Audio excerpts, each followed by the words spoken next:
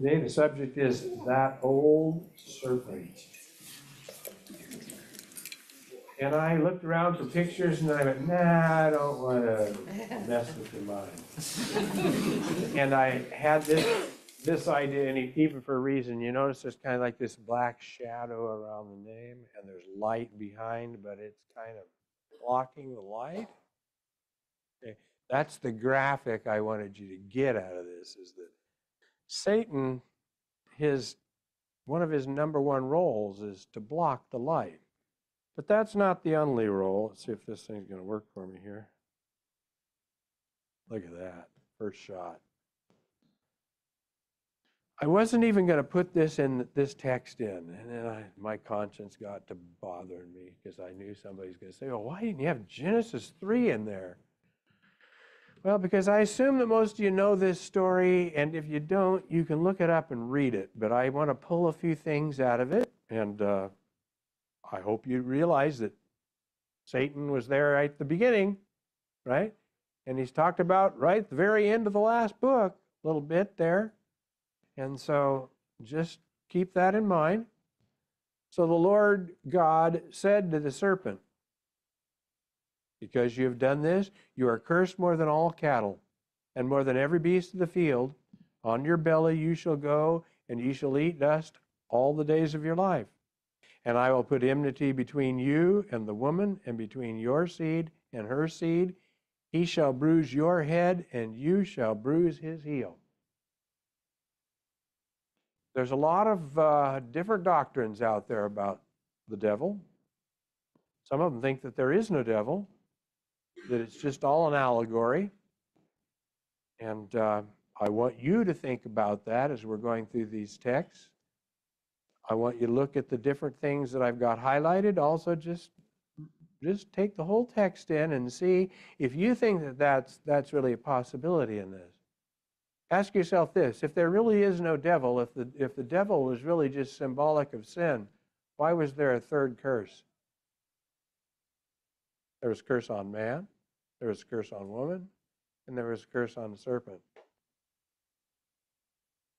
If there really wasn't a serpent, why the curse? Why punish all the other beasts that come after this one that seem to be the descendants of? Right? What does it say? On your belly you shall go, and you shall eat dust all day. I'll put enmity between you and the woman, and between your seed. Your seed? The serpent could have seed, whenever the serpent was, had offspring. And of course, the whole idea of the bruising, we'll talk about that more in a little bit.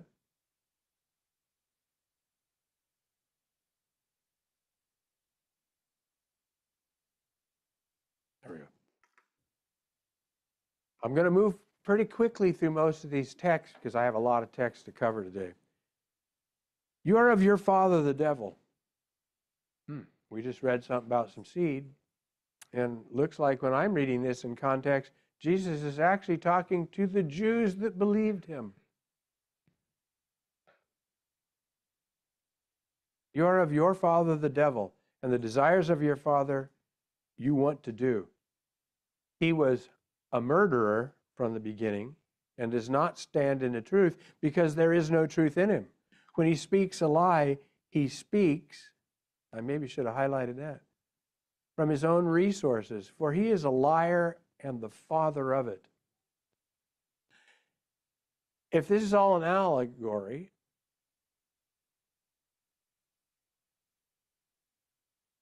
look at it. A murderer, a liar. He had desires. He speaks a lie. If this is just all an allegory of sin, does that really work? Romans 16 20, we jump clear to the end of the, of the whole story for Satan here. And the God of peace will crush Satan under your feet shortly. Hmm. In God's perspective, Satan was just a temporary nuisance. But what is he in our perspective? What is, is he in our world? These are the things we want to talk about. Things to look for. Is he real or an analogy? What is his goal? So, what's he trying to achieve? And how does he work? So, that's what we want to look at in this. 1 Peter 5 8 through 9. A lot of us know this verse, right? let's think about it from that aspect, those, those questions. Be sober, vigilant, because your adversary, he's an adversary. The devil walks about like a roaring lion. I could have highlighted walks too, there, right? Seeking whom he may devour. All he can devour. And then the instruction to us is resist him. How do you resist him? By being steadfast in the faith. You don't have any faith in God. You don't have any faith in the salvation of God, the resurrection of the dead, in a life after this life. Why would you resist? Knowing that the same sufferings are experienced by your brotherhood in the world. This morning in the adult class, we read how David fell into some problems, right? He can fall into problems, so can we but it can be resisted. Otherwise, it wouldn't say it. Job 1. This is another text I was just going to refer to. Ah, better read it because somebody's going to say, Why didn't you have that one? Job 1, 7 through 11. The Lord said to Satan, So, if this is true, God talked to him. Whatever it is. From where do you come? Ask him a question. If this was sin, and that was all, all it was, just figurative, just symbolic, or an allegory, uh, an analogy, some kind, why this kind of language? Why not just tell us?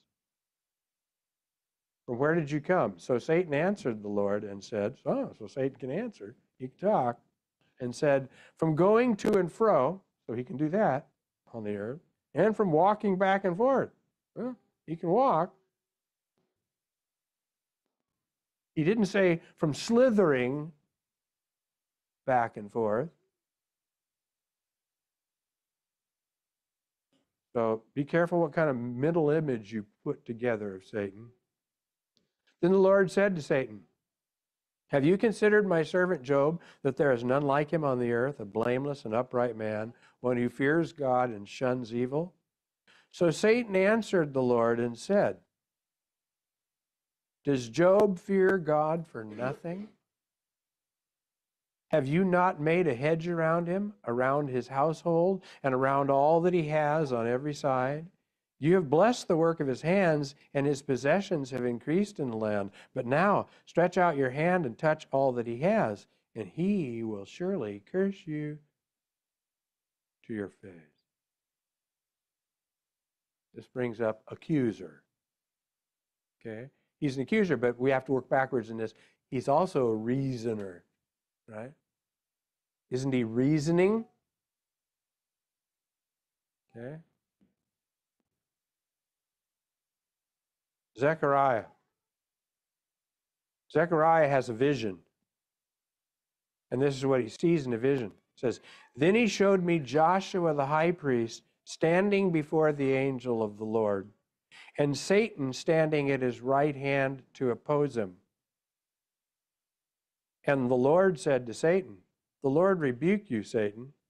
The Lord who has chosen Jerusalem rebuke you. Is this not a brand plucked from the fire? Yeah, these people had just come back from, from a long time in exile, right? They're barely surviving in the land. Enemies all around them trying to stop them from surviving in the land. And what we see in this, in the vision, and I'll grant, if you're going to say that anything is figurative, this is probably it. Right? But what we see is God is represented there by an angel. Joshua the high priest is there, and Satan's on the other side opposing. lesson in this, lesson in Genesis 3, he doesn't care about you. Nothing that he's suggesting you do, nothing that he's putting out to you as an, as an option is for you. It's for him. It's all for him. He's an opposer, an accuser, a murderer, a liar. There is no truth in him. So we need to understand that everything he is doing and is suggesting that we do is so that he can oppose God, oppose you to oppose God, to try to change what's already been said is going to happen to him. And that bruising is crushing under the feet. Okay? Note, if you think back to what we read there in Romans 16, it's God that does it. Yet in Genesis, it says that the seed of the woman was going to do it. Once again, this plays into the agency of Jesus, right?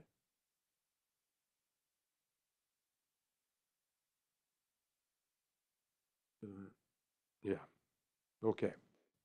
Luke 4. The temptation of Christ. There's a lot of things we need to think about in this. Then Jesus, being filled with the Holy Spirit, part of understanding Satan is understanding spirit. If you don't understand spirit, you're going to get all Hollywood and all messed up. Okay? You need to understand what Holy Spirit is. You need to understand what spirit is. It's a mentality. It's a mindset. It's a way of thinking. It's thinking itself. Now, it can be what you express when you breathe out and words come out of your larynx. It can be that. But that is all connected to what's going on in here. And there's a Holy Spirit, and there's the Spirit of the world. There's lots of different spirits. That's why John said, try the spirits, test the spirits, see whether they're of God. There's lots of different ways of thinking. We can take in those types of thinking, either good or bad, into our thinking. We can integrate them into our mind. Jesus was integrating into his mind the thoughts that God expressed to him. Okay? God spoke to Jesus. His spirit came into Jesus' ears, mind, however he did that. Jesus took that in and integrated it, okay? He had a choice. That's another important thing to note in all this. You have a choice. I don't know that the donkey had a choice. I'm talking of the story of Balaam. I'm not sure the donkey had a choice. But the Spirit still did something there, right? Because God's Spirit is powerful enough to make something happen by nature would not. So, filled with the Holy Spirit, he returned from the Jordan was led by the Spirit into the wilderness, being tempted for 40 days by the devil. And in those days, he ate nothing. And afterward, when they had ended, he was hungry. So we're not told necessarily everything that goes back and forth between the devil up until the point where Jesus is real hungry. Did you notice that? There's 40 days that he's tempted by the devil, and then he gets really hungry, and the devil says to him, If you are the Son of God, command this stone to become bread.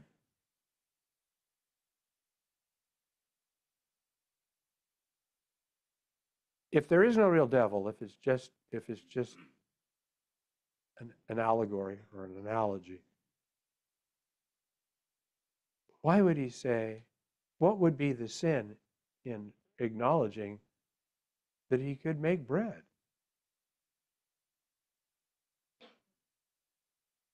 The devil said to him, If you are the Son of God, command this stone to become bread. But Jesus answered him, saying, It is written, Man shall not live by bread alone, by every word of God. Is there some reasoning going on here? Now, eh, some would argue, well, this was all just in Jesus' mind. Okay? But just keep thinking about all things we've talked about so far that it says of the devil. Then the devil, taking him up on a high mountain, hmm, showed him all the kingdoms of the world in a moment of time. I suspect, I don't have the proof, but I suspect, based on some fact, that I don't know any, any mountain on planet Earth that will show you all the kingdoms of the world. Okay? That he's seeing a vision.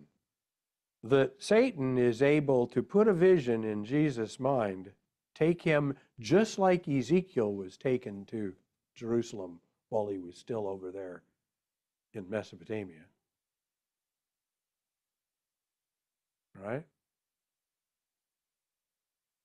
And shown all the kingdoms of the world in a moment of time. How much power did Satan have? And how could sin itself pull that off? And the devil said to him, All this authority I will give you and their glory for this has been delivered to me, and I give it to whomever I wish. Is this just an analogy? Is this figurative? Therefore, if you will worship me, all will be yours. So he claimed authority. And Jesus answered and said to him, Get behind me, Satan, for it is written, You shall worship the Lord your God, and him only you shall serve. Then he brought him to Jerusalem, set him on the pinnacle of the temple.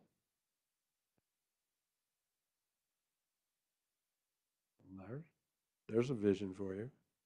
And said to him, If you are the Son of God, and I think he probably put him there if you are the Son of God, throw yourself down from here. For it is written, He shall give His angels charge over you to keep you. So apparently, sin has a, has a memory.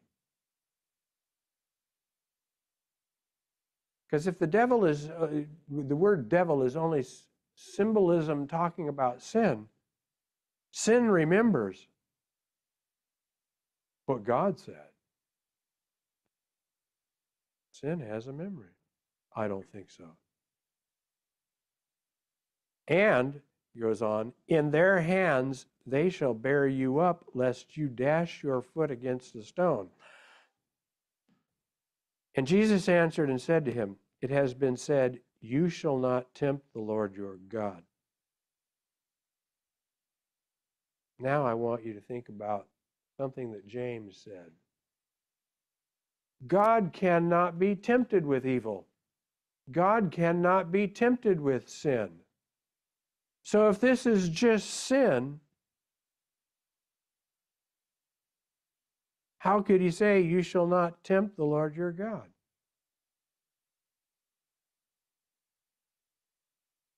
Now, when the devil had ended every temptation, he departed from him until an opportune time.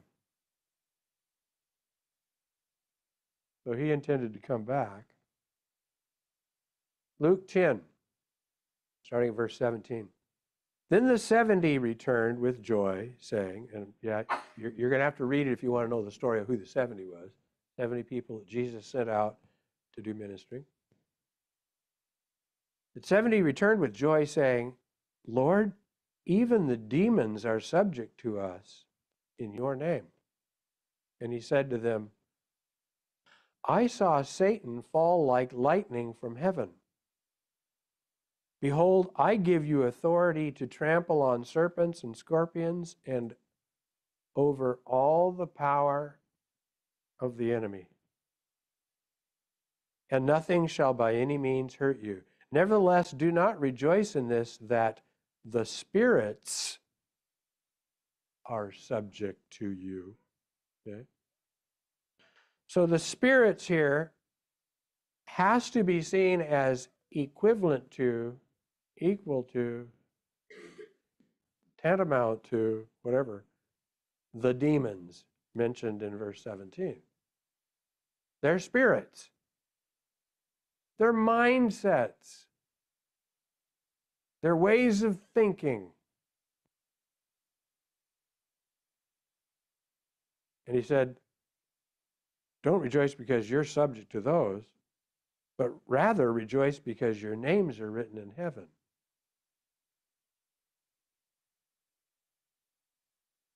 Just things I want to think about, want you to think about. We're going to talk about spirits more in this next text, but think about what he said to them. Ephesians 2, verses 1 through 7. And you he made alive, this would be God, who were dead in trespasses and sins, in which you once walked according to the course of this world.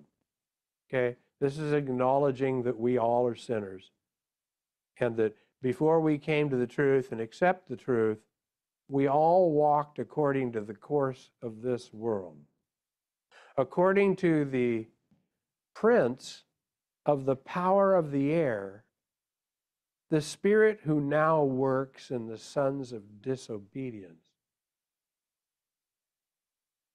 If a spirit is a mindset, a way of thinking, then what we're talking about is the way the world thinks, and that that is the spirit of the one who is the prince of the power of the air.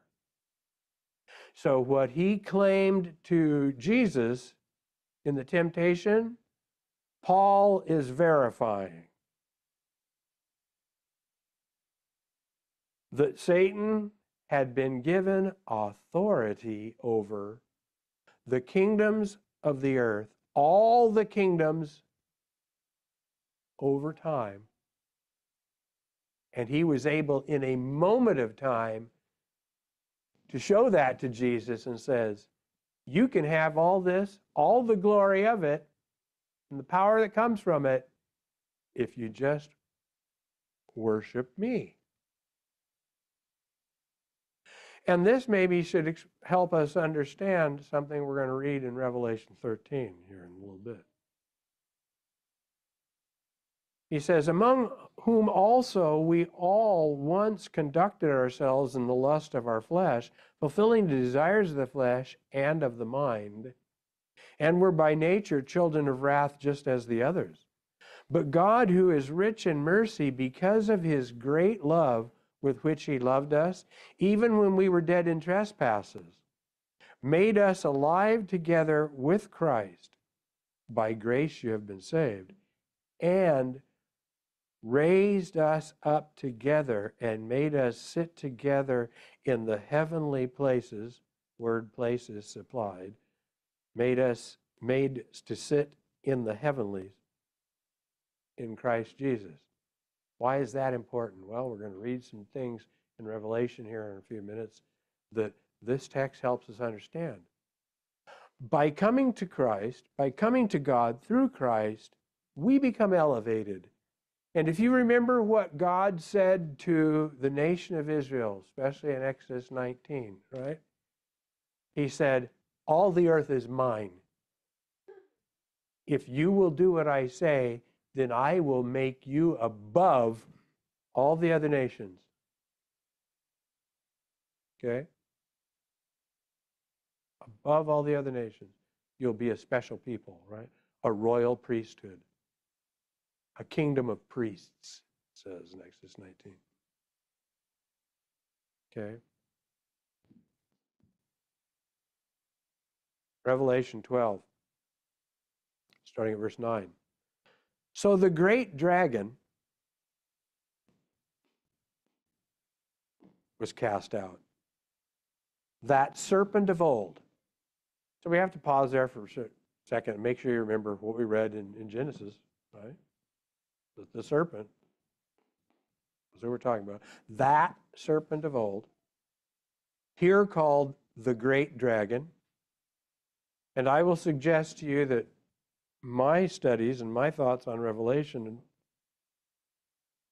I come to the conclusion that the dragon is the dragon, is the dragon, is the dragon in Revelation. Okay? Kind of like the one on the throne is the one on the throne and is always the one on the throne. In Revelation, the one on the throne, when it says that, that's God. When it talks about the dragon, it's Satan. So the great dragon was cast out, that serpent of old, called the devil and Satan. There's four named titles, right? Pretty well identified. And his angels. So he has messengers were cast out with him. Cast out of what? Well, if you look at the text before, I don't have it on there. I can't put all the context on for you. But if you look at before, there was war in heaven and the devil couldn't win and he was cast out. Okay. Jesus said, when they were able to cast out demons, he said, Ah, I saw Satan fall like lightning to the earth. The process of Jesus coming, standing up to Satan and the temptation, bringing the gospel to the world, people accepting it through the death of Christ, brought about the fall of Satan because his whole purpose was not to be your friend, but to bring you down, to defeat God's plan. That's his whole purpose, is to oppose, to accuse and to oppose. It says, Then I heard a loud voice saying in heaven, Now salvation and strength and the kingdom of our God and the power of his Christ has come. For the accuser of our brethren, who accused them before our God day and night, has been cast down and they overcame him by the blood of the Lamb and by the word of their testimony, and they did not love their lives to the death. Now, that's an assumption that someone does that, right? That makes them an overcomer. Continuing on. Therefore, rejoice, O heavens, and you who dwell in them.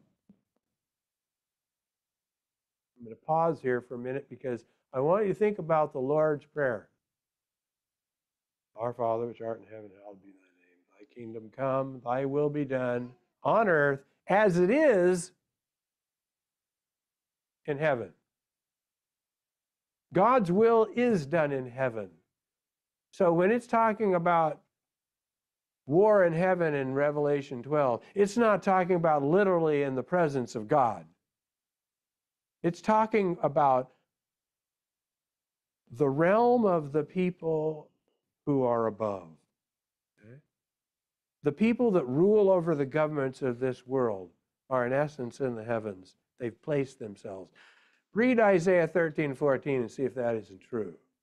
Because what it says in the prophecy about the king of Babylon and the king of Assyria, and what they assumed of themselves, that they placed themselves in the heavens above the stars of God. They called they referred to themselves as stars. And we hear people referred to as stars and do we understand what that means? They're a sports star a movie star whatever that they're above and shining a glorious one above the other people woe to the inhabitants of the earth and the sea for the devil has come down to you having great wrath. Does sin have great wrath? Because he knows. Does sin know that he has a short time?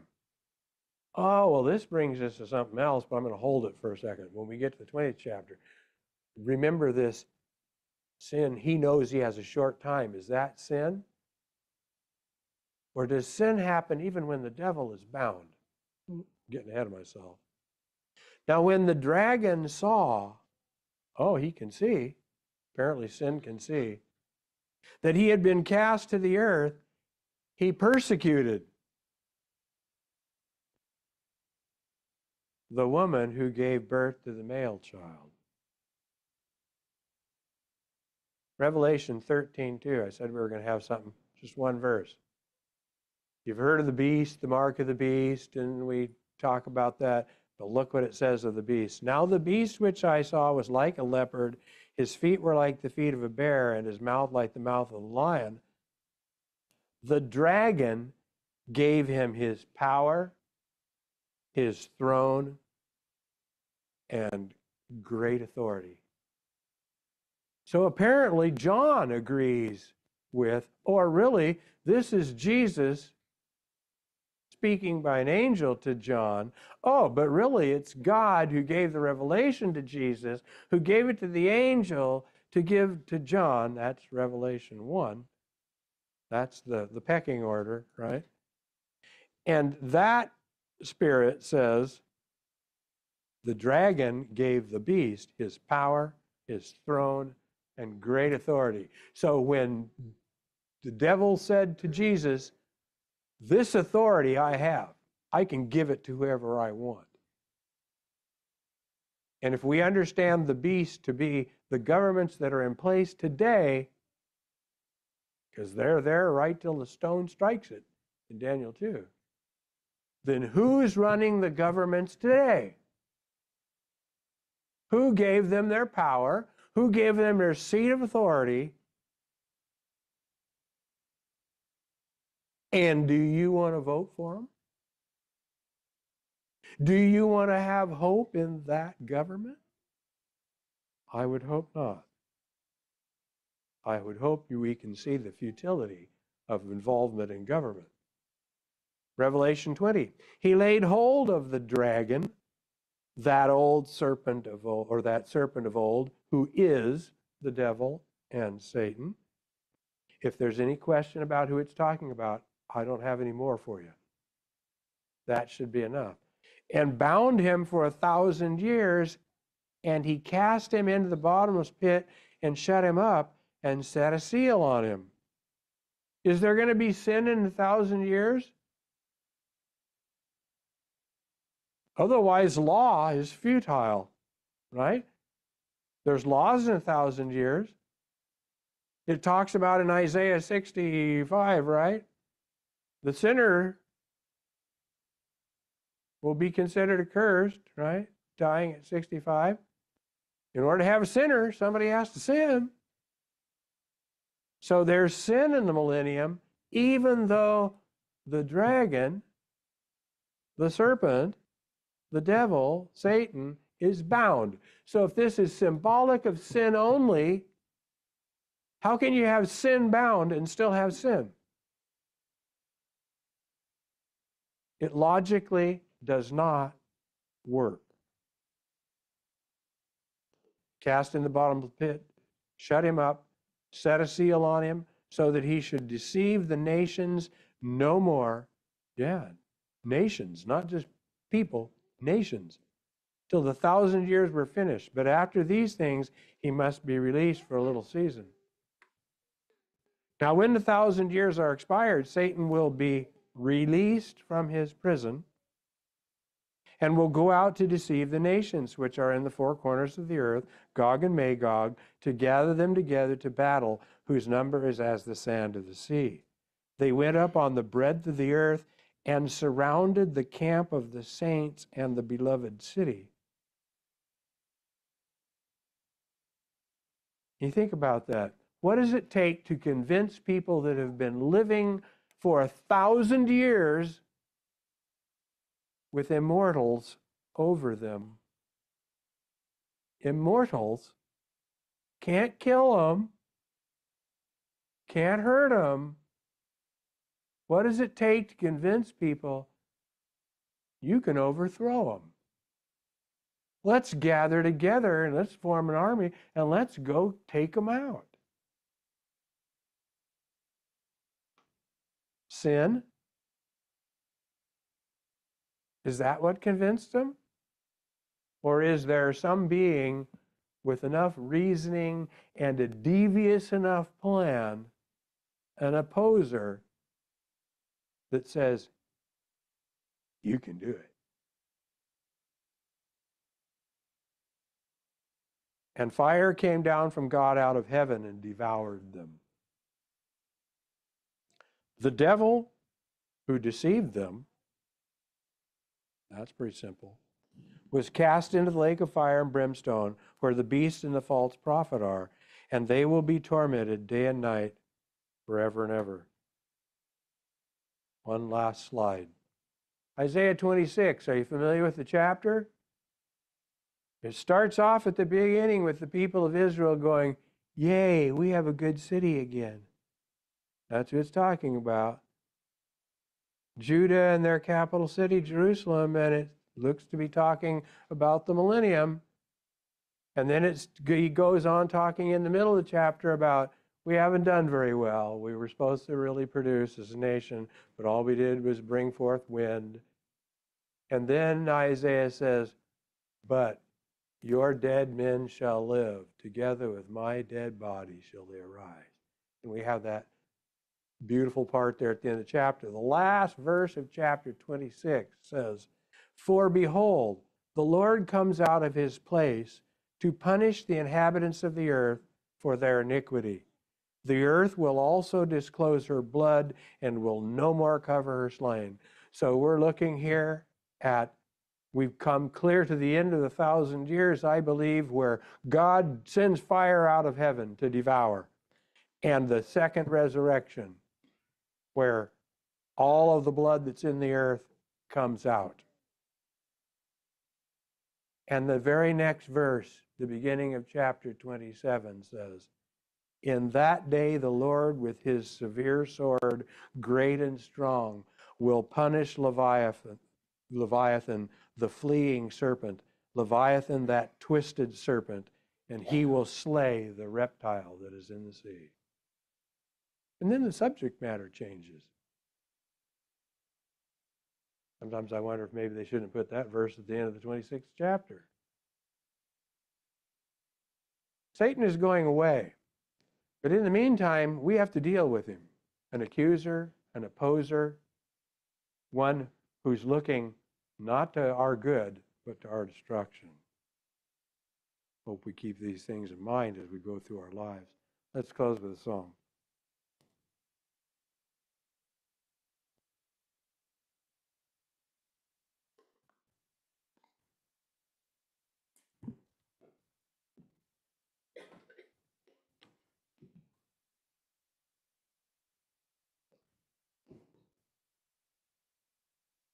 Service today with song number 230, Look Up Ye Saints.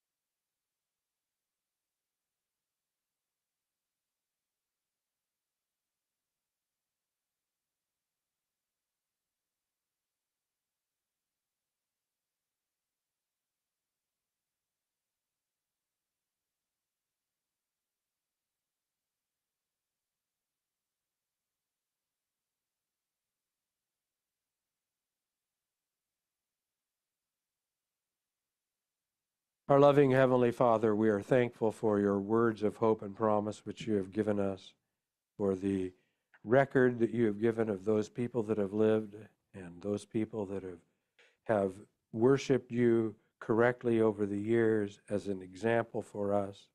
We pray that we would follow that example and be found acceptable to you. We ask for your forgiveness when we fail, and we pray for all of your people for guidance and protection and comforting and healing. We do ask that you would send your Son soon, and we ask for a place in your kingdom. And we pray these things in Jesus' name.